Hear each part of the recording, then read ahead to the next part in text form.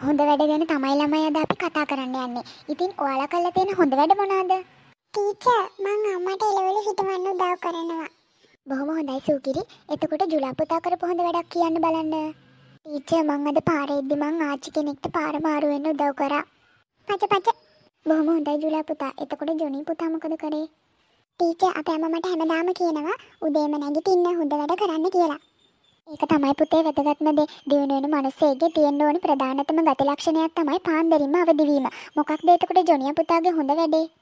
Teacher මේ අපේ අල්ලපු ගෙදර සීයා ඉන්නේ. එයා මට කිව්වා හෙට දුව බලන්න යනවා කියලා. මං උදේම නැගිටලා බලනකොට සීයා හොඳටම නිදිමතේ වැනි වෙනි යනවා. එහෙම ගියොත් ටීචර් ලබන සතියේ එන කෝච්චියවත් අල්ල ගන්න බෑනේ. ඉතින් පුතා මොකද කරේ? මං ටීචර් දුවලා ගිහින් බල්ලගේ දන්වල ලිහලා ඌව ඉගෙනුවා. සීයා දුවපු දිවිල්ලට අනිවාර්යයෙන්ම කෝච්චිය අල්ල ගන්න ඇති. මේ ජොනියා නම් හරිම නරක නැහැදිච්ච ළමෙක්. මට නම් එපා වෙලා ඇති වෙලා මේ පන්තියට උගනලා. පුදුම කටක් තියෙන තමසට. මං යන යන්න. ඉන්නකො මම ප්‍රින්සිපල් සර්ටත් කම්ප්ලේන් කරන්න. හූ හූ ජොනියා අහගත්ත ඇතිද? ආයිබෝවන් ටීචර්. ආයිබෝවන් ළමයි. ළමයි අද මං ඔයාලට පේපරයක් දෙනවා. ඊට කලින් මං ඔයාලගෙන් ප්‍රශ්නයක් අහන්නම්. ඒ මොකද්ද ටීචර්? ඔන්න දැන් නිදානෙකුයි මොලේකුයි තියෙනවලු. දැන් කියමු බලන්න ජොනි පුතා, ඔයා ඒ දෙකෙන් මොකද්ද තෝරගන්නේ? මං තෝරගන්නේ නිදානය. මම නම් තෝරගන්නේ පුතා මොලය. අපි ඉතින් තෝරගන්නේ අපිට නැති දේවල්නේ ටීචර්. අපෝ උඹලා වගේ ළමයිගෙන් ප්‍රශ්න අහනවට වඩා හොඳයි බම් නිකන් ඉන්න එක. මේ ළමයා නම් මහ හිතුවක්කාර ළමයෙක්. මේ ළමයාත් එක්ක කතා කරන්න ගියොත් මගේ මොලෙත් ඉකාරෙනවා. පුදුම කටක්. මං යනවා යන්න. ඉන්නකො මම ප්‍රින්සිපල් සර්ට කම්ප්ලේන් කරන්න තම්සේ ගැන.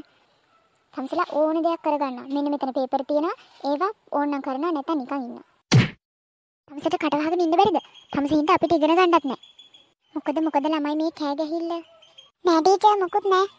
හෙට අතු ගන්න තියෙන ළමයි උදේම ඇවිල්ලා අතු ගන්න ඕනි පන්ති කාමරය. ඔයාලගේ පන්ති භාර ගුරුවරිය වශයෙන් මං කැමති ඔයාලගෙන් දෙයක් දැනගන්න. ඒ මොකද්ද ටීචර්? ඔයාලා කියන්න බලන්න මට ඔයාලගේ අනාගත බලාපොරොත්තු ඔයාලා ඉගෙනගෙන ලොකු වෙලා සමාජයට මොන වගේ කෙනෙක් වෙන්නද කැමති කියලා. ටීචර් මං නම් කැමති ડોක්ටර් කෙනෙක් වෙන්න. බොහොම හොඳයි. එතකොට ජුලා පුතා.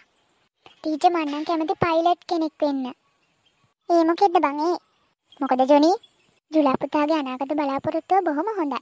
එතකොට කියන්න බලන්න ජොනිගේ ටීචර් මට කලින් චමරිගෙන් අහන්නකෝ. ඒ මොකද?